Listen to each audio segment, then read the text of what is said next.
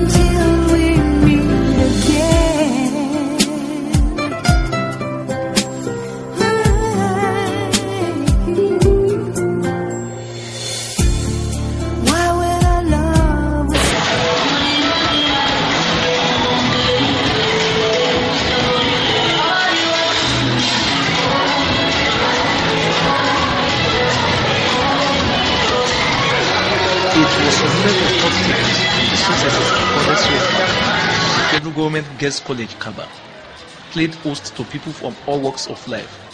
The occasion was the graduation and 20th annual speech and prize giving day ceremony of the college involving 133 outgoing students.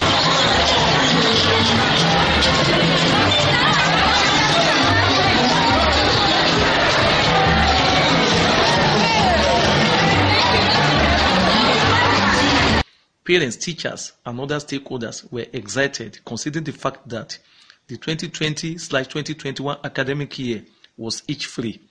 As usual, a number of social cultural activities were in place to entertain the audience. Prominent among them was a session of cultural performances which cut across different ethnic backgrounds to illustrate the popular slogan of unity in diversity.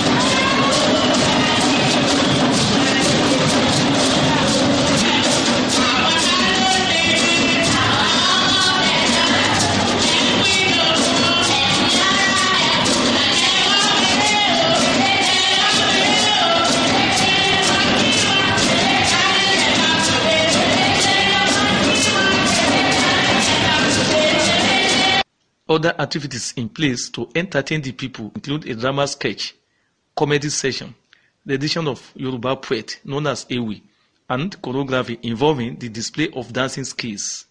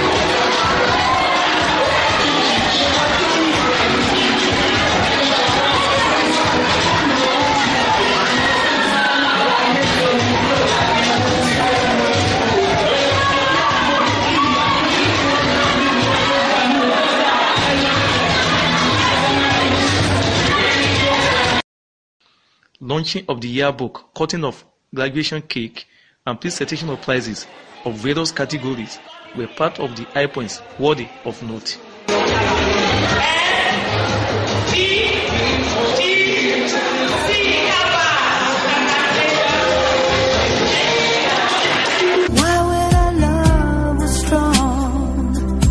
Still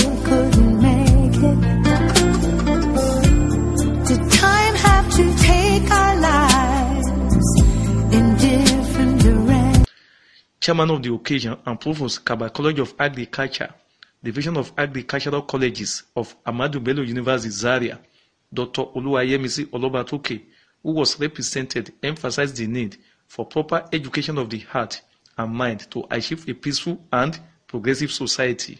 Educating the mind is giving them what it takes to be successful in life, to be able to add value.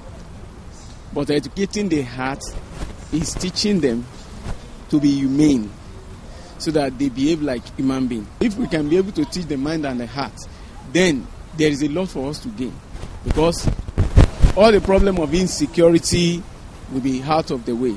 People will love each other, will not be tribalistic, will not be practicing nepotism and all the rest of it as we see.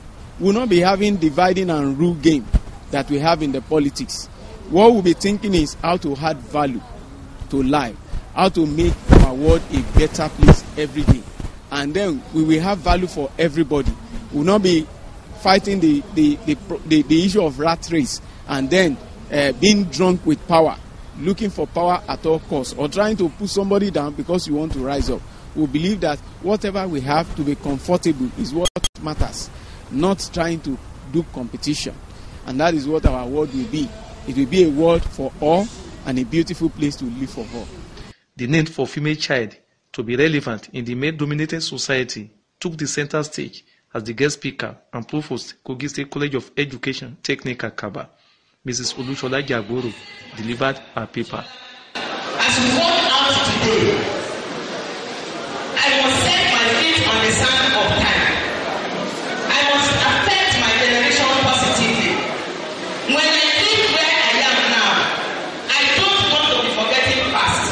to be relevant. It's not something you can get on a platter of gold. You have to work for it. So what i'm saying in essence is that there is there is hard work attached to it. If you must be relevant you must be hardworking. And a woman or a girl child must prepare her mind not to be among ordinary. If you want if you don't want to be among ordinary you want to be among people that matters then definitely you have to work hard. Educating the female child, according to her, will increase productivity, which we intend bring about remarkable positive changes in terms of social, economic, and political development. for changes. I was telling we are the masterpiece of creation. On women, the world of creation completes. And so, we have come to a level whereby you allow the women to try. And so, as a girl, see yourself as somebody coming out to be something, even when people say you can't do it. when you educate a man is for himself but wh- when you educate a woman the women women are everywhere they they their life they want to share they want to interact with people then the children are more with the children with the with the woman than the than with the with the man in the house. Men have only time for themselves. They don't have time for some other, people except if it is something that is uh, uh, gen- something general something like that. But for by for um, time for themselves they think more of themselves.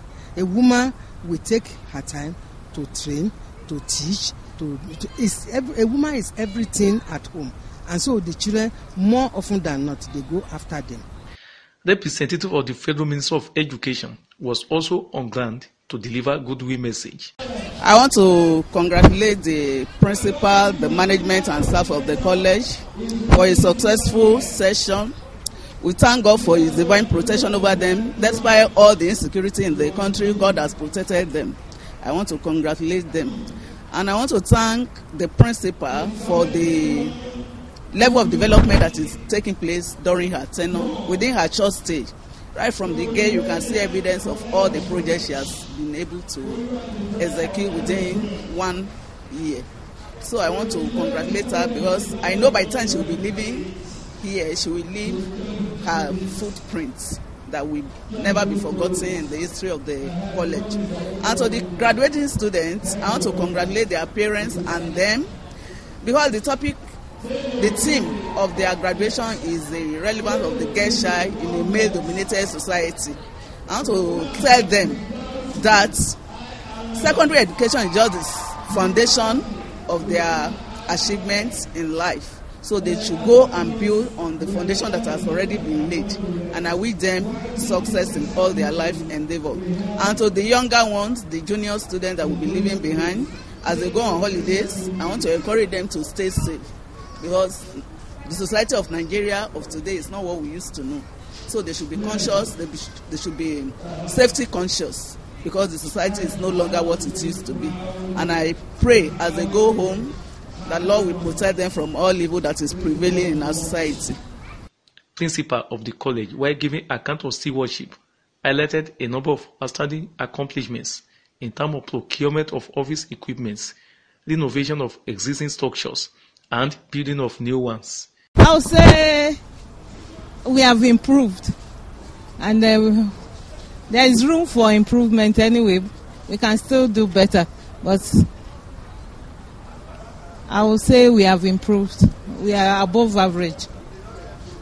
But we are aiming for the top. We want to be one of the best school, federal government colleges in Nigeria. Right from landscaping of this environment, that's where we started landscaping of the environment, building a bungalow for the VP's accommodation, starting a new nursery primary school renovating things here and there. There are structures we have started and we are looking for funds to complete as well. So it's just inflow of resources from the ministry. There were words of advice for the graduating students by the principal, guest speaker, and other dignitaries at the occasion. They should find something to engage them meaningfully as they go. They are just starting life life is not about it's not what they think it is i've told them that even when you obey instructions and you are obedient life is still difficult as a lady they can they add the address of the girl speaker but with determination a, a girl can go as far as she is she plans to in life you can see the all the establishments in uh, Kabba now. This is Federal Government Girls College. It's being headed by a female. The Ahmadu Bello Greek session too is being headed by a female. The College of Education Provost is also a female. So they can see they have good examples all around them. It's just for them to take the bull by the horn, give themselves good self-esteem and achieve whatever they plan to achieve in life. Destiny cannot be foretold, cannot change. But you, you have to be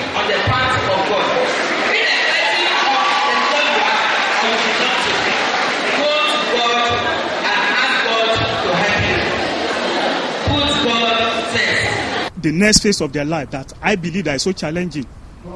Because they are so where they are going now higher institution they are free.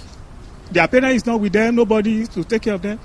I will advise them that they should shun courtesan. Also they should not involve in examination um, and practice. They should not move with bad companies because because of freedom. Some of them they will ruin the graduation they've had in, in primary in, in nursery to primary primary to secondary and now this is secondary to higher institution so they should be careful of the type of person they are moving with i pray that lord will take them to their next level in jesus name. To the head girl and other graduating students, the event can be described as a dream come true, considering the fact that their journey of six years ended a huge success after overcoming a number of challenges. It was good all the way, but it was really challenging, as in, in especially in time of edu- um, academic activity. There has been a lot, a whole lot for me to handle both the academic activity and this leadership activity. To control the old school is not really it's really challenging. So but it has been good all the way. It's a very good thing because God has really helped me for the past six years, and finally, I'm leaving secondary school, so I'm very happy. And I want to say thank you to everybody that has helped me to reach this stage my parents, my teachers, my loved ones, my friends, NTA group, because my daddy works there. Everybody, thank you so much.